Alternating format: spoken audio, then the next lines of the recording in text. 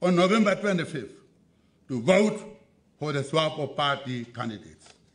We have seen white people registering in big numbers. I've never seen it that way. And they said, anything else but SWAPO. I have noted that. And I will forget that. People declaring war against SWAPO. Led by parliamentarian and vice president of the official opposition party, Jennifer van den Heever, the PDM has called on the ombudsman to investigate the remarks, describing them as a threat and an infringement on the rights of Namibians. He was really threatening these people that they enjoy peace and that they are registering in big numbers is a problem. Uh, but we also know that the, every Namibian has a right to participate in democratic processes. And we believe that the president is infringing on certain Namibian laws. For example, um, Article 17, 1, 2, and 3 of the Namibian Constitution that protects the rights of all citizens um, to participate in uh, uh, peaceful political um, activities.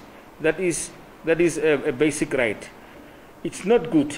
It's not good for the president to target a specific uh, racial group just because they want to participate in a democratic exercise of the country.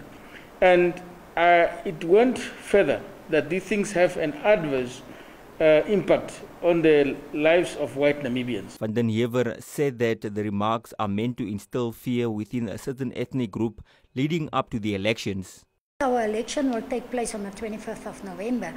And I think this utterances of the president really instills some fear in the electorate out there that uh, they don't know whether they should go and vote or not.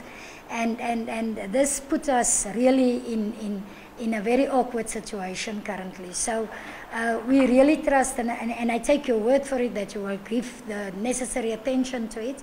Uh, for us, it was just that uh, it is really disheartening uh, since our first citizen is uttering these uh, kind of uh, comments. The Ombudsman, John Walters, said that they will first need to determine whether this matter actually falls under their jurisdiction, after which they will commence with investigations, and that will take about three months. We set our date for completion of, an, uh, of an, uh, a file of the outcome of, of any complaint for 90 days. It all depends, Mr. Karangombe, that it is not in my hands to make a determination right now and give you tomorrow. I, you know that is what there is uh, on the Ombudsman's logo, the other side of the story.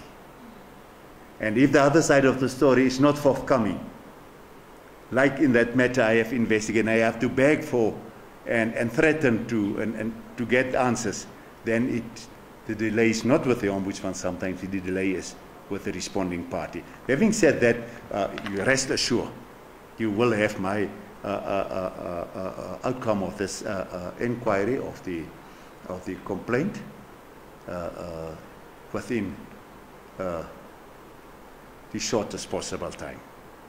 They called on the Ombudsman to respond with haste. John Walters said that he will have an answer before the elections next month. Reporting for Today on One, I'm Joseph Shifene.